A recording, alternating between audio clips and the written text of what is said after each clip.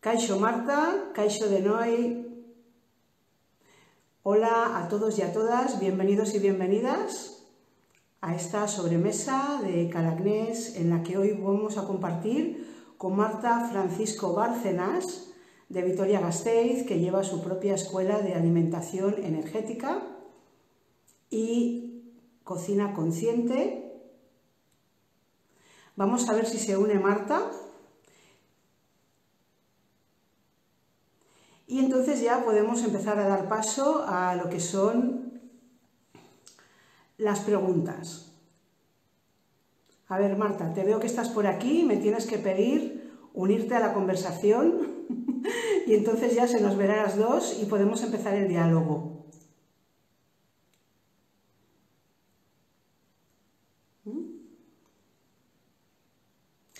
También vamos a hablar de cómo comer sano en familia y cómo podemos organizar una alimentación saludable sin ponerle demasiado esfuerzo. Marta, te veo que estás aquí.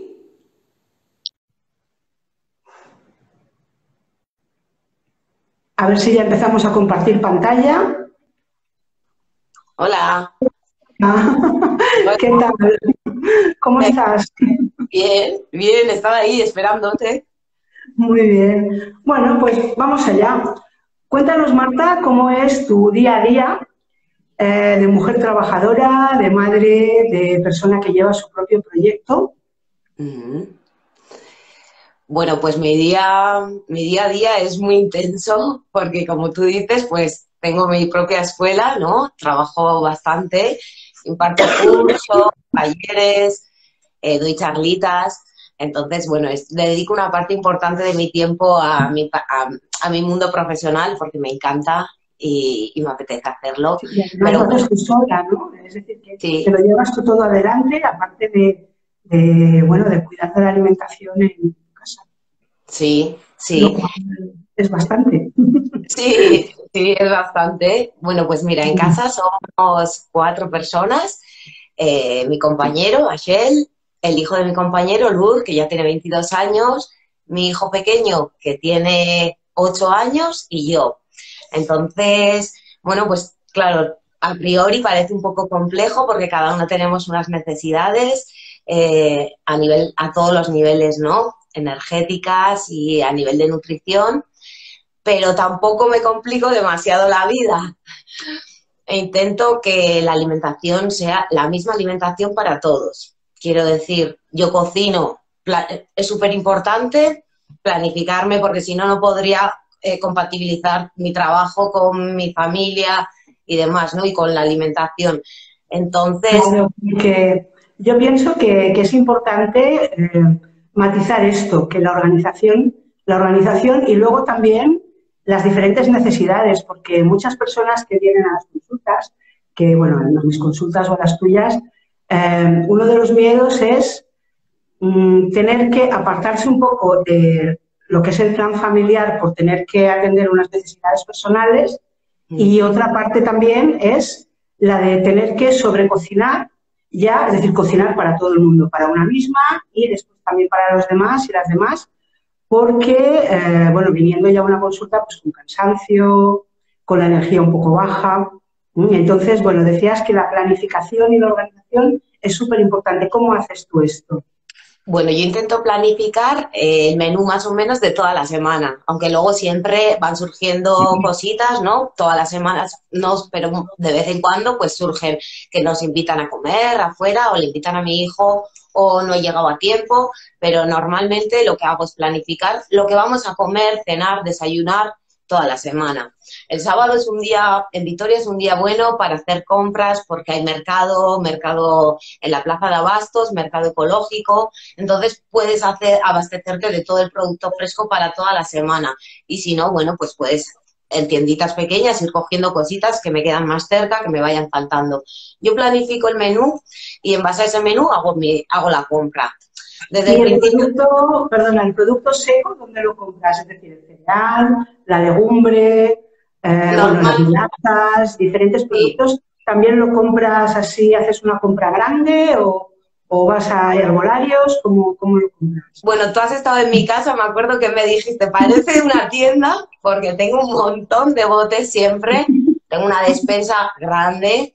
Yo me suelo abastecer principalmente de la cooperativa de productores, de consumidores ecológicos que hay en Vitoria, BioAlight, y es mi fuente principal de abastecimiento, pero también compro en pequeños comercios como Tierra Viva, como Argain, herboristerías Celaya y herboristerías que me quedan cerca para abastecerme. Y luego verdura y demás, pues en el mercado también. Entonces, en base a la planificación hago un poco la compra de fresco, el seco siempre tengo mucho y cuando compro, compro grandes cantidades. Tengo botes, pues de 5 kilos de arroz, de mi hijo 5 kilos, tengo muchos botes. Mi hermana dice que es la bote cocina, está llena de botes, ¿no? De seco. Entonces, eso, hago la planificación del menú y en base a esa planificación hacemos las compras. Intento que la compra involucrar un poco al resto de la familia, ¿no? Yo suelo ser la que diseño más el menú, pero bueno, pues también, venga, pues vamos a comprar, o tú vete aquí, compra allí, cuando era más pequeño y nada, y ahora también, ¿no? Pues venga, tú coge las, las zanahorias, que yo cojo las remolachas, ¿no? Intentamos un poco para que participen todos. De esta forma entiendo que es mucho más apetecible comerte cualquier cosa, si has participado, hombre, lo ideal en mi para mí sería poder participar desde el cultivo, ¿no? Ver, pero nosotras no tenemos huerta, no tenemos, pero bueno, sería una opción fantástica para aquellas personas que quieran potenciar una, alimentación saludable en su casa, ¿no? Participar desde el comienzo.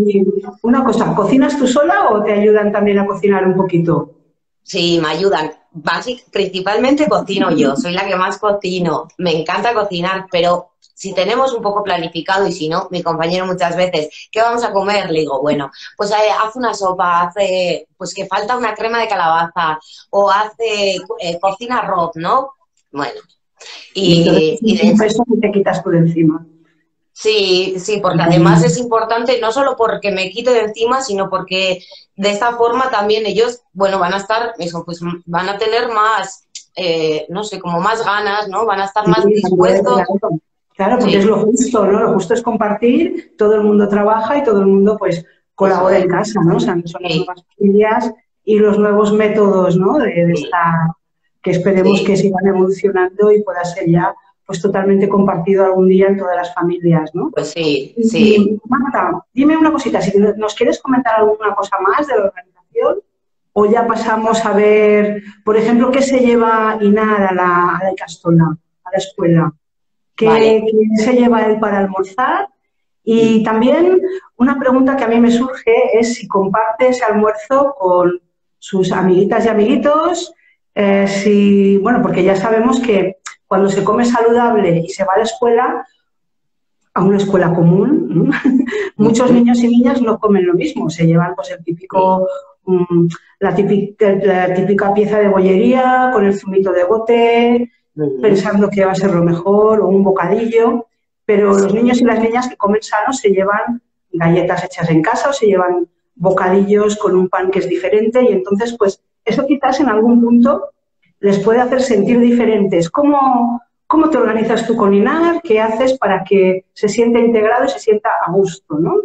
Mira, hasta hace bien poco INAR iba a una escuela un poco diferente en la que este tipo de productos que has mencionado no cabían, ¿no? Entonces no había ninguna diferencia, todos almorzaban igual o parecido, tenían unas frutas para compartir y ahora sí que va a una icastola, a una icastola pública, cerquita de casa y compartir ahora no pueden compartir nada, casi no se pueden tocar, o sea que imagínate compartir una maiquetaco, es imposible, ¿no? No les dejan compartir. Pero bueno, pues sí que él me dice, ¿no? Es que este lleva eh, galletas, es que todos los días llevan galletas de chocolate. Bueno, nosotros, mira, Inar, la verdad es que no suele llevar mucho almuerzo, lleva muy poquito almuerzo. Alguna, pues algún día lleva una pieza de fruta, que le gusta la manzana en cachitos, bueno, pues un tapercito con manzana. Hoy, por ejemplo, pues unas tortitas de arroz con un poco de taín. Eh, pero así, eh, a maiquetacos, almuerzos muy, muy simples. Un, un poquito de frutos secos, e incluso hay días que los trae, que no se lo ha comido, porque prefiere aprovechar ese tiempo para jugar. claro, partimos de que Inar ha desayunado muy bien, ¿no? Y tampoco, y entra a las nueve y media, sale a la una. A la una estamos comiendo. ¿qué, desayuna, Inar? ¿Qué desayunáis en casa? En casa desayunamos crema de cereales. Eso es el, fuerte de nuestro desayuno, como el tuyo y como el de la mayoría de las personas que practicamos la macrobiótica en la alimentación, una crema de cereales. Algún día hay un arroz con leche, pero la crema de cereales que voy variando, una crema más dulce, que le vamos poniendo. Sí que yo lo que hago es, yo elijo la crema y luego si la mesa hay muchos condimentos, muchos toppings para que cada uno ponga lo que quiera. Entonces, no pongo todo, pues unos días pongo... ¿Sí? ¿Qué toppings? ¿Qué toppings tienes? Desde semillas, semillas tostadas de calabaza, de girasol, gomasio, pongo siempre canela, que le encanta a Inar, a mí también. Eh, semillas saladas también, ¿no? Con, con, un poco de humebosio, con salsa de soja alguna fruta, pues arándanos, frambuesas, grosellas, todas estas que a los niños les apasionan. Entonces, esto también, ¿no? Para que cada uno nos vayamos poniendo en, nuestra, en nuestra crema de cereales lo que nos va apeteciendo cada día. Algas también, unas poquitas de algas tostadas o alga nori, que eso también nos gusta mucho con una infusión, normalmente un tecuquicha yo, él también puede ser un tecuquicha, alguna vez una bebida de vegetal con un poco de café de cereales y todavía después se suele comer o una tostada con aceite o con un poco de taín, con lo cual ha desayunado a las ocho y media, nueve menos cuarto y a la una comemos. ¿Vale? Con nada, con alguna cosita, un poquito de fruta, un poco suficiente. Sí que es verdad que le llama la atención pues que muchos niños llevan galletas, oreos, ¿no? Me dice, y bueno, pues, pues claro, a él también le apetece. Le apetece porque lo suyo no suele ser tan apetecible para los demás. Lo que más le gusta llevar son eh, unos paquetitos que hay de alga nori tostada que vienen en paquetes. Claro, es como le parece, ¡buah! Pues un paquete de algo. Como un snack que va comiendo. Y claro, entonces eso le parece pues súper guay. Y, le, le gusta invitar a los demás, pero normalmente, bueno, ahora no se puede, pero mm, a los demás les crea un poco de rechazo. Para él es maravilloso, es un placer. Comería esos snacks continuamente. De vez en cuando sí que me dice, pues me he comido una galleta de tal. Bueno, no pasa nada. Yo siempre digo, bueno, no pasa nada, pero tú llevas tu taco y tenemos que intentar comer cada uno nuestras cosas porque es importante, porque nosotros no comemos azúcar, es una lección que hemos hecho en casa y tenemos que, ¿no? Y es una lección que no he hecho yo solamente, que he, he intentado que participe él también en esa lección, porque siempre explicándole las consecuencias, hablando de la alimentación, del azúcar, y él muchas veces dice, pero tiene azúcar, y hay gente que le dice, el azúcar es veneno y bueno, pues está guay. Sí. Muy bien, muy bien. ¿Y no te pide bocadillos y te pide...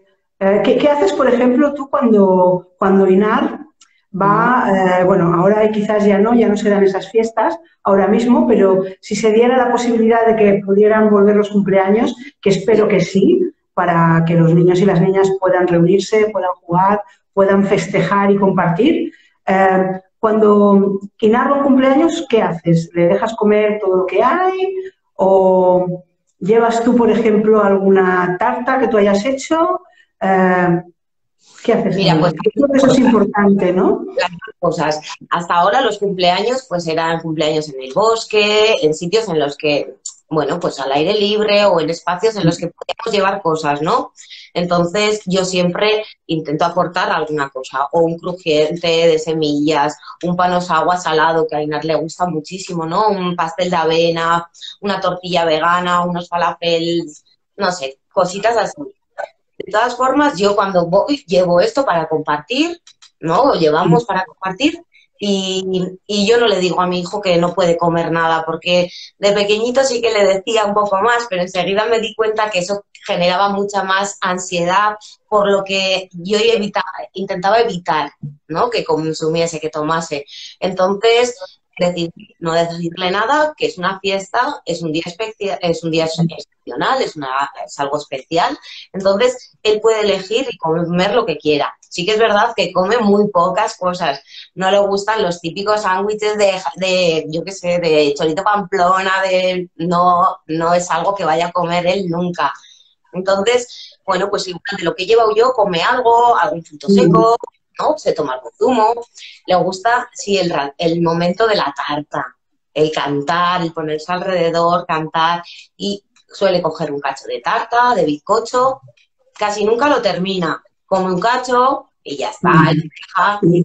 Y, luego después, por ejemplo, si tú notas, porque las niñas y los niños que han comido saludablemente, cuando se salen un poco enseguida lo notan, ya sea en el estado, por ejemplo, energético, se ponen más nerviosos, o por ejemplo les duele un poquito la, panza. Eh, mm. esto en casa, cuando ha habido un extra, un extra flexible que forma parte de la integración, ¿tú cómo, cómo lo compensas esto?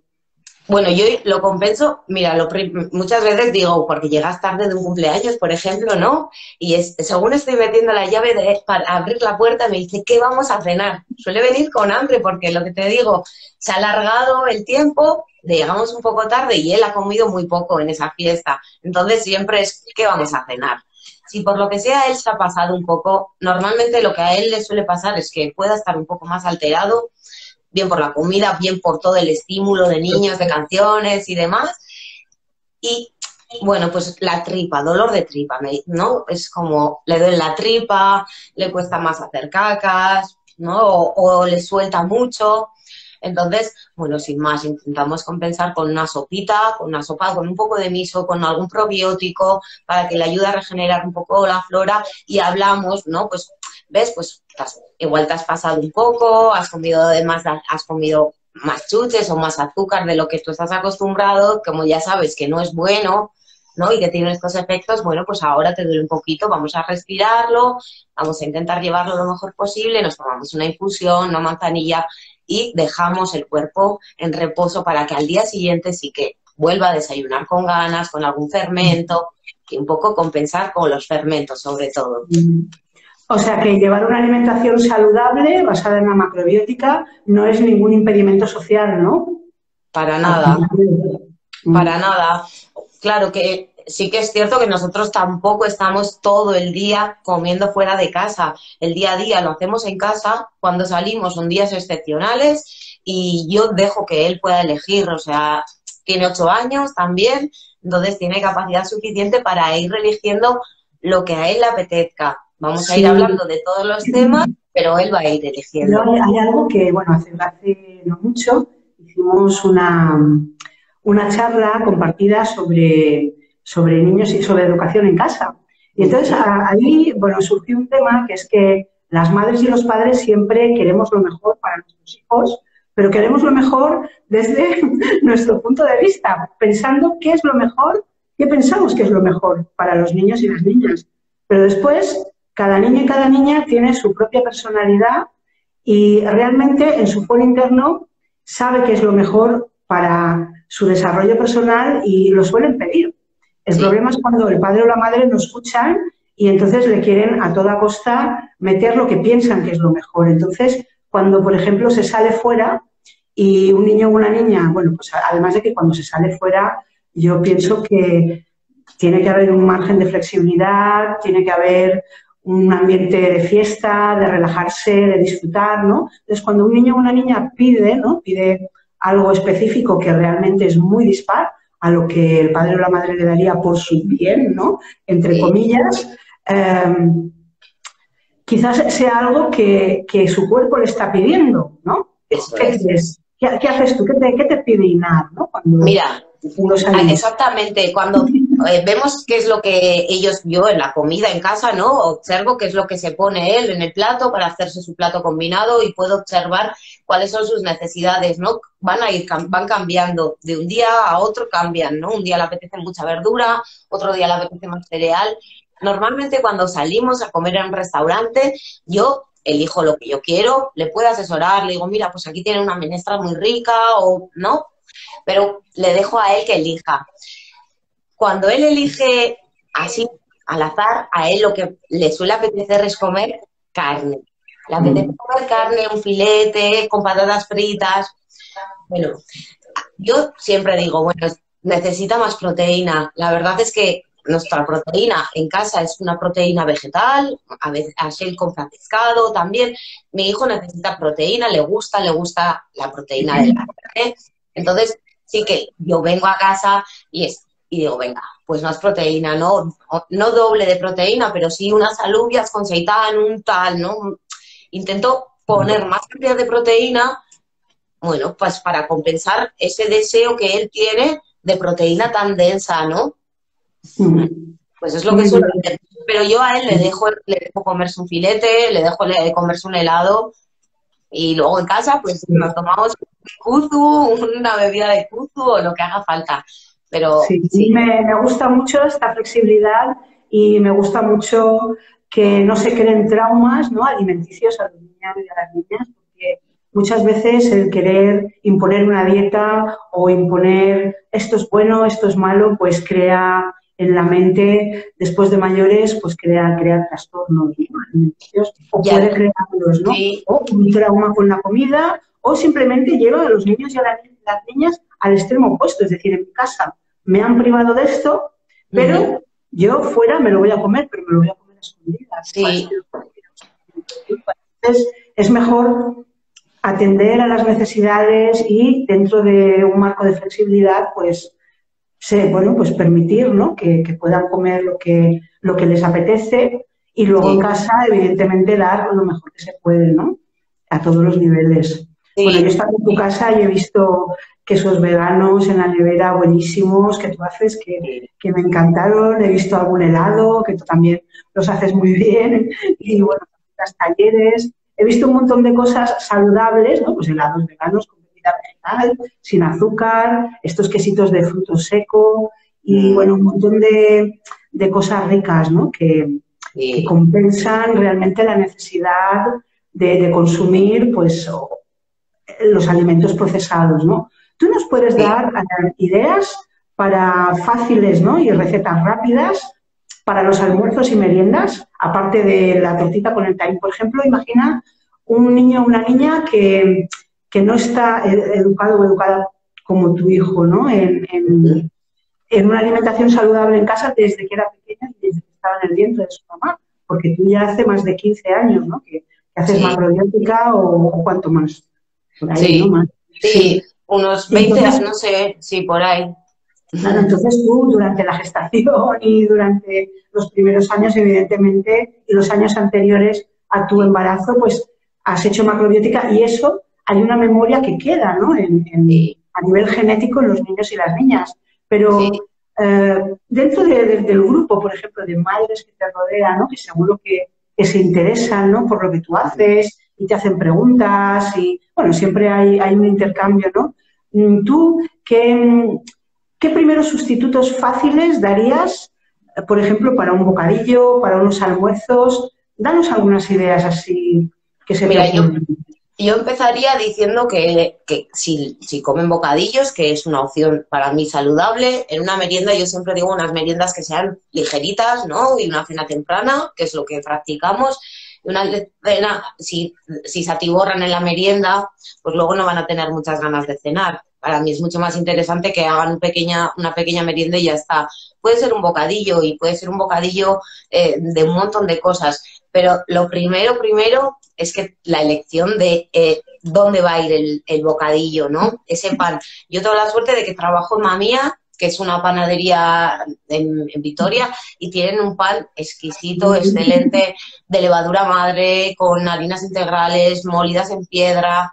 Bueno, una, pues muy bueno. Entonces, un buen bocadillo podría ser eso, partiendo de que vamos a coger un cacho de pan, que sea un pan de grano entero, biológico, ¿no? Y de levadura de buena calidad. Y, podríamos poner desde una proteína vegetal, un poco de seitán a la plancha, un poco de tofu a la plancha. Bueno, a Inar le encanta el tempe, le parece, le, podría comer también kilos de tempe, ¿no? Pero unas lonchitas de tempe a la plancha con una cebolla pochada, con un salteado de cebolla y un poquito de, de un poco de taín o una salsita de mostaza cualquier cosita, algo que le haga un poco más jugoso ese pan, puede ser una merienda, un bocadillo bien saludable, un paté, un paté de alubias, ¿no? De, me sobran alubias, garbanzos, de todas las legumbres, utilizo un cacito para hacer un paté.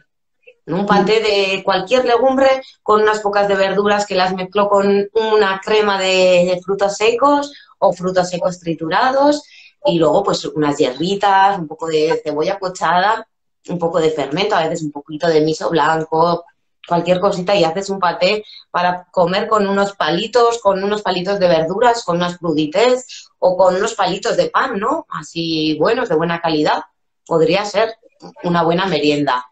Un buen batido en verano, a Ainar le encanta, ¿no? Un batido, o ahora, un día que él sale y que le apetece porque igual ha estado más tenso y necesita un poco más de relajación, pues un batido en el que podemos poner un trozo de calabaza asada, un kaki bien maduro y un medio vasito de leche, bueno, nos hacemos un batido estupendo.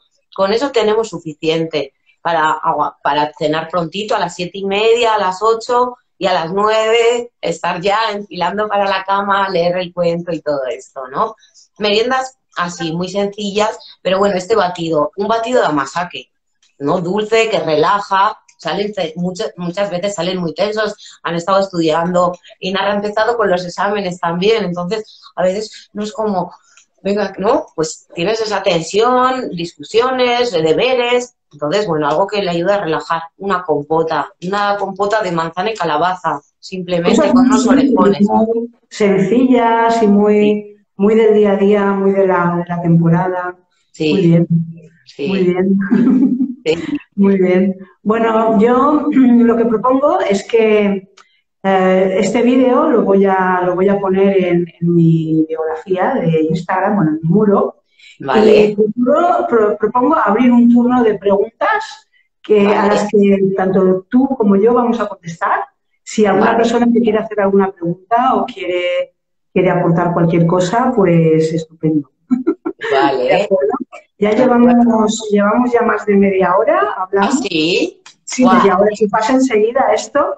Y es que pues, podría estar horas hablando contigo además. Sí, sí, pues por no alargarlo y por no tener más a la gente aquí, pues pendiente del, móvil, pues lo, dejamos grabado y ya pues cualquier cosa que nos, que nos vayan diciendo. Me alegro mucho de haber compartido esto contigo. Yo también. Ya que no puede ser en persona, pues por lo menos que sea... será, será, ¿eh? pendiente, hacer algún cursito por aquí, que hay mucha gente que te está esperando, así que yo encantada. Muchísimas gracias, Agnes. Un abrazo fuerte. Agur. Chao.